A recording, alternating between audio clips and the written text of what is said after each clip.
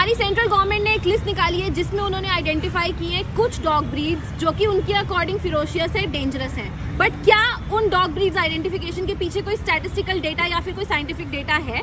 How can we say that a great Dane is less ferocious than Akita how can we say that a German shepherd is less ferocious than Rottweiler I have seen many other dog breeds like Pomeranian, Labrador, Beagles, and for that matter, street dogs also who have the maximum bite records. As compared to the dogs mentioned in the list of banned dogs in India.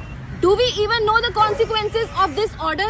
इससे कितना ज़्यादा economical setback आने वाला है market में not only breeders बल्कि जो बच्चे वेट डॉक्टर्स बनने की इच्छा रखते हैं किस ब्रीड को क्योर करेंगे आप हॉस्पिटल्स में you are wiping off all the breeds like Rottweilers, Pit Bulls, American Bullies, Cane Corso, etc. from the map of India in coming 5 to 7 years. क्या हमारी आगे की जनरेशन जब इन ब्रीड्स को देखना चाहेंगी, उन्हें फॉरेन कंट्री ट्रैवल करना पड़ेगा?